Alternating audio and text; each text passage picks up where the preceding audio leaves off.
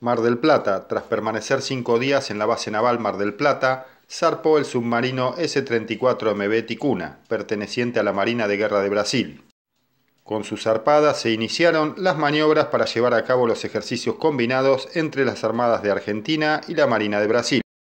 Posteriormente iniciaron las maniobras de zarpada las demás unidades participantes de las actividades. Desde los muelles norte y oeste de la base naval Mar del Plata comenzaron los movimientos del destructor Arazarandí, las fragatas de la Marina de Brasil Independencia y Unión y el patrullero oceánico Ara contra Almirante Cordero.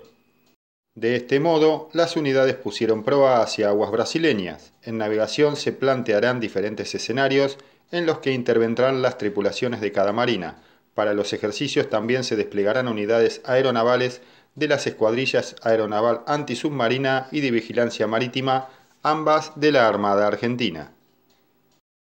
Está previsto que los ejercicios tengan un primer desarrollo en aguas argentinas en la configuración del ejercicio combinado PASEX, al cabo del cual el patrullero oceánico Ara contra Almirante Cordero regresará a su apostadero habitual en la base naval Mar del Plata.